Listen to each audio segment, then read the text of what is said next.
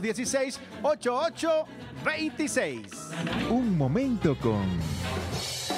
Hoy vamos a conversar Día Nacional del Deporte con Aiskel Hernández. Ella es presidenta del Comité Paralímpico Venezolano. Bienvenida al aire, ¿cómo está? Muchas gracias. ¿Cómo se siente de Todo estar bien. acá acompañándonos? ¿Le gusta el programa? ¿Lo ha visto? Sí, sí, claro, todas las mañanas. Excelente. Bueno, 6 de enero, Día Nacional del Deporte. De hecho, se están realizando diferentes actividades, misas en particular en Caracas. En La Pastora hay mucho que reconocer.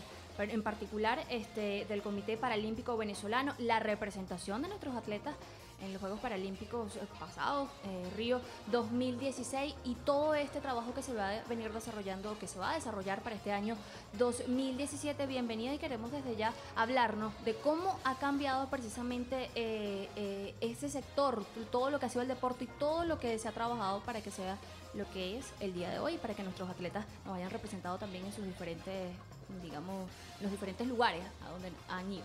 Sí, mira, de verdad que durante todo este ciclo, estos 17 años, 18 años, para nosotros lo que hemos estado en el movimiento deportivo paralímpico, en lo que es el ámbito de las personas con discapacidad, eh, hemos visto pues cómo realmente ha evolucionado y todo eh, se debe a lo que han sido las políticas de Estado. Ustedes han podido este, observar cómo muchos de nuestros atletas que para sus familiares eran impensables que pudieran tener alguna representación o que pudieran tener algo positivo que hacer. Entonces el deporte ha, hecho eso, pues transformar la vida de todas estas personas con discapacidad, muchachos, muchachas, que bueno, lo han visto pues con los juegos, los resultados de los Juegos Paralímpicos ahora en Río, que fue muy significativo, una delegación muy pequeña prácticamente, donde se dio un resultado extraordinario. Ha sido el mejor resultado que hemos tenido en todo el proceso. Desde el año 99 que nos encontramos eh, eh, nosotros en, este, en esta eh, en todo lo que es la consolidación a nivel internacional de todos nuestros, nuestros atletas. Entonces, sí, evidentemente tenemos que reconocer el apoyo que ha dado el gobierno, en un principio nuestro presidente Hugo Chávez y ahora nuestro presidente Nicolás Maduro, que han puesto, han continuado con ese empeño, eh, con leyes como es la constitución, el hecho de que el deporte sea un, eh, un, derecho constitucional, eso fue muy significativo para nosotros y permitió que tuviéramos un, un salto cuántico en todo lo que era esa dignificación y visibilización de nuestros, de nuestros atletas. Entonces, bueno, todo lo que hemos vivido, por supuesto, hay mucho, mucho que hacer, muchísimo. En este momento nos encontramos con el tema del desarrollo, con el tema de la masificación. Eh, es un empeño que tenemos que para poder consolidar ese grupo, ese semillero que está en las escuelas, que está en las comunidades, que pudiera incursionar ahora en este ciclo paralímpico. De hecho, estamos trabajando con los Juegos para Panamericanos Juveniles, que son ahora en marzo, con cerca de 150 atletas de las diferentes discapacidades y este, en 10 disciplinas deportivas. Entonces eso nos va a dar un mayor avance. pues. Hablemos de esa preparación precisamente de todos esos atletas y de, y, y de toda esa representación venezolana que está allí, que sigue trabajando precisamente para cada día ser mucho mejor y para mostrar ese potencial que existe en nuestra nación. Cada joven que se suma al deporte se le quita precisamente a las calles y al ocio. Sí, claro, y, y sobre todo, como les dije inicialmente, la- lo neurálgico que es la población. pues. Eh, era población que estaba sujeta, o sea, era víctima de todo lo, do- todo lo que acontecía en las calles, ¿no? Eran los principales, la- las principales personas que podían sufrir de cualquier embate de lo que era la droga, todas esas cosas. Ahora, hay, que, hay algo que de- deberíamos destacar, que es eh, el simple hecho que lo que ocurrió en el pasado. Quienes hoy en día ven al deporte como una disciplina y como una obligación del Estado, tal como lo consagra nuestra constitución bolivariana, eh, en el pasado, ¿qué ocurría? Porque muchos venimos y conseguimos la mesa servida. Está bien, esto me pertenece, está bien. Pero ve acá, aquí hay que destacar los cambios que se han dado en los últimos años en Revolución y que una vez que nace la Carta ah, Suprema, la Constitución Bolivariana, es la que nos da esos derechos. ¿Qué pasaba en, eh, eh, qué ocurría en el pasado? Sí, en el pasado lo que ocurría era que no había un, políticas que permitieran, o sea, políticas de Estado que permitieran eh, consolidar la participación de los muchachos y las muchachas dentro de lo que era el deporte como tal, ¿ok? No existía nada, absolutamente ni un programa este, que pudiera garantizar la participación, algunos destellos de, algunos, de algunas acciones, pero no realmente de un Estado responsable un- de un grupo tan importante y tan, su- tan sublime y tan significativo como era el de las personas con discapacidad. Entonces no existía el deporte eh, formal, sino algunas actividades que se hacían a nivel del país. Y bueno, y, las personas que nos encontrábamos tratando de garantizar esos espacios, ¿ok? No había la posibilidad de incursionar formalmente en programas ni en, los mismos espacios de, de, entrenamiento ni nada por el estilo porque no existía esa, esa concepción. Entonces simplemente teníamos los muchachos en las escuelas y allí se hacía la actividad de educación física como como se presentaba en los programas educativos solamente.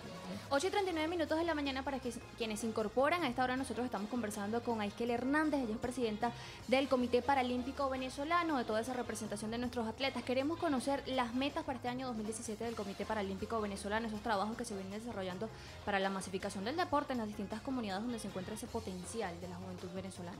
Sí, bueno, tenemos un gran empeño y es eh, precisamente consolidar, en este momento estamos trabajando con la sede, la gente, o sea, estamos trabajando conjuntamente con el Ministerio de Deporte, con el presidente del Instituto Nacional de Deporte, Pedro Infante y Melvin Maldonado, eh, para consolidar el tema de la sede para el mejor funcionamiento, ¿ok? Este, estamos entonces tratando de, implementar, o sea, de continuar con el trabajo de masificación deportiva, que es un poco ir directamente a los estados, decirle a la gente qué es el deporte paralímpico y decirle entonces cómo se deben organizar para poder garantizar las organizaciones que, que, deben darle respuesta a los muchachos en los diferentes estados. Esa es parte de la tarea.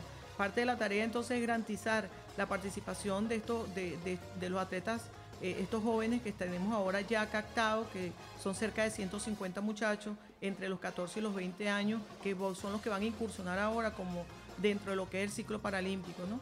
Y bueno, ya continuar con la participación de los atletas que ya fueron proyectados y que culminaron el proceso del ciclo paralímpico para la participación en esos eventos mundiales, en esos eventos que están presentando las federaciones internacionales con la finalidad de consolidar los puntajes y, los posicionamientos en los rankings mundiales. En, lo, en, los estados, ¿cuáles son los estados con mayor participación de atletas paralímpicos? Tenemos entonces en los Juegos Paranacionales, que es donde se ve que también es uh -huh. un logro que hemos tenido uh -huh. por la ley del deporte, eh, tenemos eh, cerca de 18 estados, pero los que más han tenido participación son los centrales.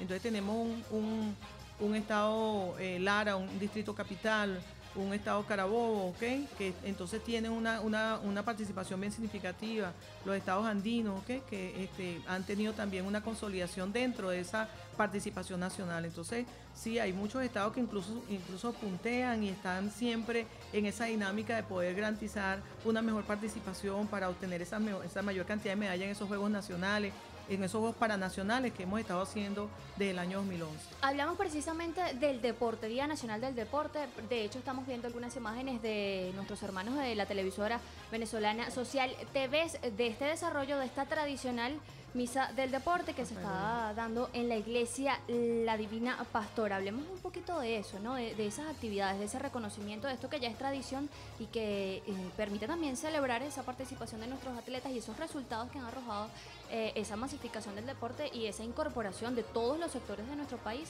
uh, para llevar ¿no? esa bandera de Venezuela bien en alto. Sí, bueno, esa, esta tradición, bonita nuestros atletas, está allí Carly Medina, este, esa tradición ha permitido que al inicio del año, ok, se pueda encontrar el deporte, no nada más, el, o sea, el deporte en general, claro. el deporte olímpico y ahora paralímpico, y que ese encuentro entonces nos proyecta como esa gran familia que somos, ¿verdad? Donde el, se consolida entonces ya como decir el cierre de ese ciclo del año pasado y que ahora entonces vamos a, a, a, establecer y fortalecer esas nuevas metas desde el compromiso desde muy adentro. Pues entonces es una actividad muy bonita que se hace todos los años y que pienso que es muy significativa para todo lo que es el tema del deporte. Bueno, ya estamos finalizando esta conversación con la presidenta del Comité Paralímpico Venezolano, Aiskel Hernández. Gracias por estar al aire con nosotros. Esa, digamos, esa frase, esa, esa importancia del deporte a toda esa juventud que nos está sintonizando a través del aire por la señal de venezolana de televisión y por nuestras emisoras aliadas. Ese mensaje, ¿no? De esa importancia que tiene el deporte en nuestro país. Bueno, el deporte es muy significativo porque primero permite que la, la, la población joven pueda estar en, en acciones productivas y que eso hace que se formen metas en ese grupo que es muy importante para nosotros y que puede, puede estar en, en, acciones productivas para poder consolidarse como persona y como entonces, bueno, lo que le pedimos es, es, es ese apoyo, pues que podamos desde las comunidades consolidarnos para, en esas organizaciones deportivas, porque así lo establece la ley del deporte, tanto en los, en los olímpicos como en los paralímpicos, y que eso va a permitir que entonces los muchachos y muchachas puedan eh, estar en esos espacios que por derecho les corresponde, en esas acciones que son muy importantes para, para nuestro país. Pues. Bueno, Aiskel Hernández, presidenta del Comité Paralímpico Venezolano, tenemos para despedir esta parte del programa al aire. Y como aquí todos participan. Es participación protagónica, tal como lo consagra la Constitución Bolivariana. Un temita que usted misma lo va a anunciar para que nuestros amigos seguidores a través de, la radio y la televisión lo puedan disfrutar. Lo. Si le hace falta el lente, usted me dice, le presto los ¿Dónde? míos. ¿Cuál es? Ajá. Ese eh, que está allá. Este. Ajá. ¿Qué tenemos por allí? De Vena, Austria. No, eso- no. La, Ah, la ah, ok. sonora, ajá. Ah, la Sonora San- Santanera. Santanera. Ajá. Y Rocío Tema La Boa. La boa. tema, la boa, La boa. Eso. Vamos con este chachachá riquiquito. Sabroso. En Feliz La día, Habana, quien ya no Sigan disfrutando. conoce a un magnífico bailarín